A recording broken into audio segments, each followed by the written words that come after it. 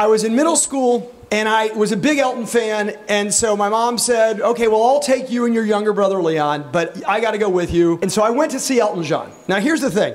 He was loud. He was really, really loud. He was so loud that when we're walking out of the concert, and I know you've had this experience, there's that ringing in your ear, right?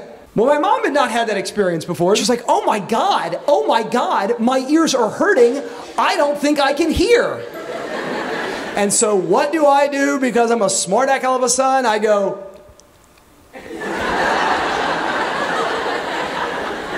Made my mom think she had hearing loss. Really lovely. All right. So, what we do every year is I play three different songs, or I choose three different songs. Thank God I don't actually play them. Uh, and, I, and I talk a little bit about sort of some part of them as it's related to, uh, to, to a lesson or some part of my life that I wanted to share. And every one of these songs actually has, I think, wisdom for us. There's a single sentence that I've picked from all three songs that we're going to listen to today. And I want you to think about some ideas related to a single line from each of these songs. And this is the first.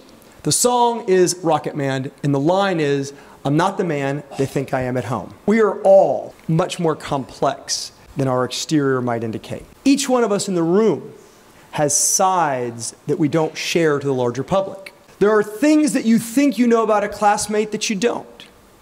Sometimes it's a personality, right? Sometimes someone who is really, really loud, who's an extrovert, who's a class clown, who's a leader, they actually have a side that is really quiet and introspective. At the same time, there are introverts who you may not know very well at all, who may be relatively quiet, and yet they have a side to them that if only you did see it would surprise you. Sometimes people we are sure that we know, they do something that isn't great, that is wrong, that is hurtful. And we're surprised by that. There are elements of that person's life, circumstances that may have prompted that action or those words. There is so much we just don't know. Oh,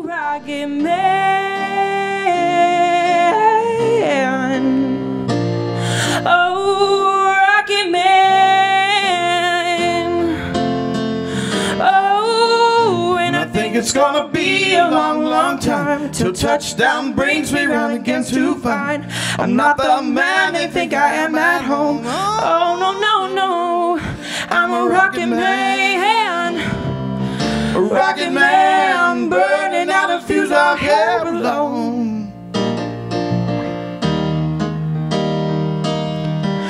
And I think it's gonna be a long, long time till touchdown brings me round again to Gets too fine. I'm not the man they think I am at home. Oh no, no, no. I'm a rockin' man. So the second song is called Daniel.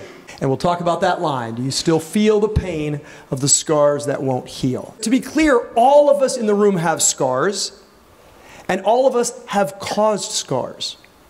We've done both. We've been on both the receiving and the giving end. So Guy Raz, who is a reporter on NPR, is pretty prolific. He is on NPR a lot. So I always hear his name, and it makes me think of the following. When I was living in Israel, a friend invited me over for Shabbat dinner. It turns out that friend also invited this other classmate from my elementary school, who was then living in Israel, to Shabbat dinner as well.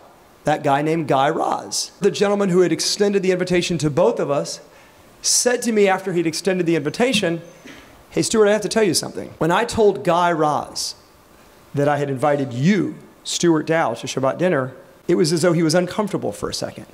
Apparently, he didn't feel that welcome by your group when you were in elementary school. I had no idea that I had done anything or said anything or acted in such a way that had made Guy and his group of friends feel ostracized or hurt or left out. But clearly I had. And here I was in college, learning about it for the first time and having to reckon with it, with a scar that I had caused. For a moment, as we listen to the next song, Daniel, I want you to think about that and how it plays out for you. Please give it up for Ryan Bronston and JBC singing Daniel. Oh, Daniel, my brother, you are older than me, do you still feel the pain of the scars that won't heal? Your eyes have died, but you see more than I. Daniel, you're a star in the face of the sky. Daniel is traveling tonight on a plane. I can see the red tail lights heading for Spain. Oh, and I can see Daniel waving goodbye. God, it looks like Daniel must be the clouds in my eyes. Third song, Don't Let the Sun Go Down on Me. And the line I want to focus on is these cuts I have, they need love to help them heal. As unlike an actual cut on your skin, when you have a scratch on your soul, it's not a band aid that'll work. You need love and compassion and empathy and understanding. And the question is how do we recover?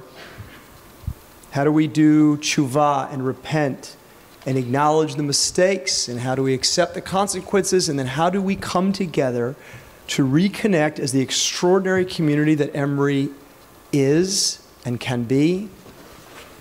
It takes a commitment, it takes understanding, it, it takes listening, it takes humility, and it takes love. Don't let the sun go down on me. But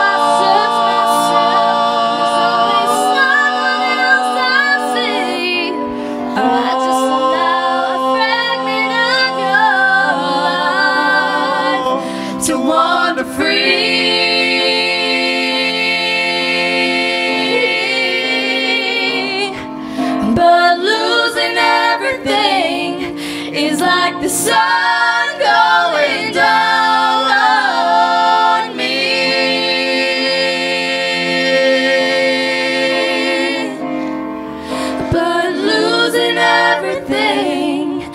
is like the sun